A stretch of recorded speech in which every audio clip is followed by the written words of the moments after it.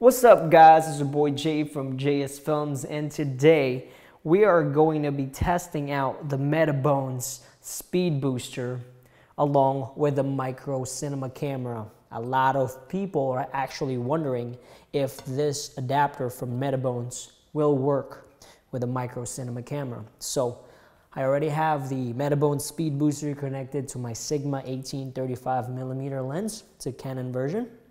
And now I'm going to try and attempt to plug this speed, speed booster to the micro cinema camera. And let's see if it's going to work. As you all may know, it's a micro four, four thirds mount.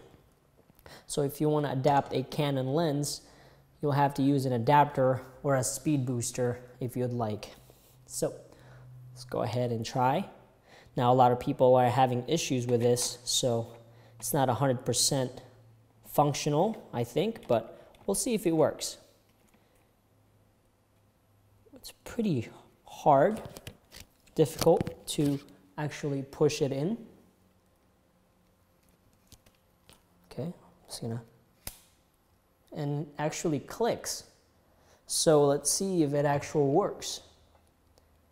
If it actually works, sorry. So have the monitor here, turn it on. Um, I'll, I'll adjust it real quick. I'll turn the camera on. I'll adjust the monitor so you can see. I'll adjust the camera so you can see. All right, so you can see, you can see an image. And we'll, we can try and see if we can change the aperture by pressing the forward and rewind button. And yeah, it does work. The Metabone Speed Booster works with the micro cinema camera. I can go to f 1.0.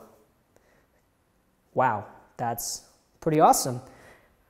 So I'm going to be using the Blackmagic micro cinema camera with the Metabone Speed Booster, the BMP-CC version, because it works. See if I can focus actually. Yeah, it's working. All right. Thanks for watching, and I'm going to be shooting a lot of videos for this soon, so Stay tuned. Peace.